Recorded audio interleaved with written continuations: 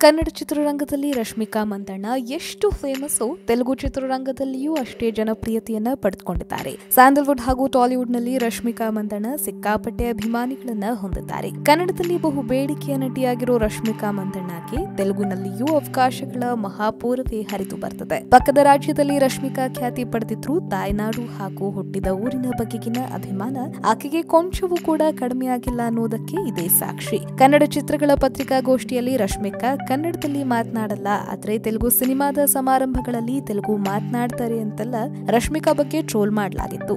ಆದ್ರೆ ಅದೇ ರಶ್ಮಿಕಾ ಈಗ ತೆಲುಗಿನ ರಿಯಾಲಿಟಿ ಶೋ ಒಂದರಲ್ಲಿ ನಾನು ಕೊಡಗಿನವಳು ಅಂತ ಹೆಮ್ಮೆಯಿಂದ ಹೇಳ್ಕೊಂಡಿದ್ದಾರೆ.